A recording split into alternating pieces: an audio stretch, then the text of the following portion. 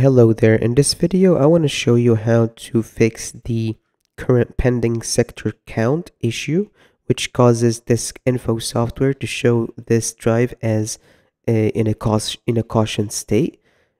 This problem that we have indicates the number of unstable or problematic sectors on our hard drive or SSD.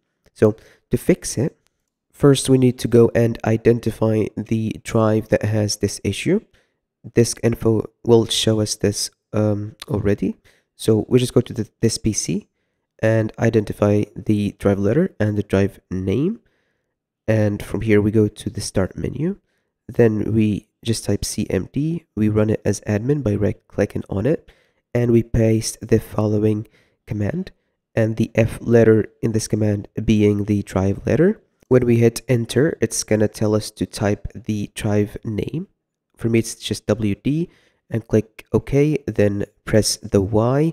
This will erase everything on the drive and it would take a very long time depending on how big the drive is.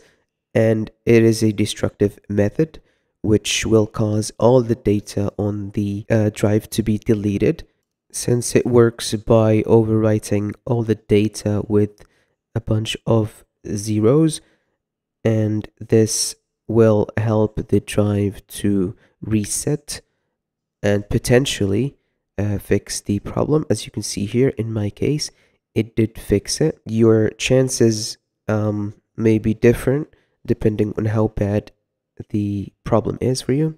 So best of luck and hope this helps you out and peace out.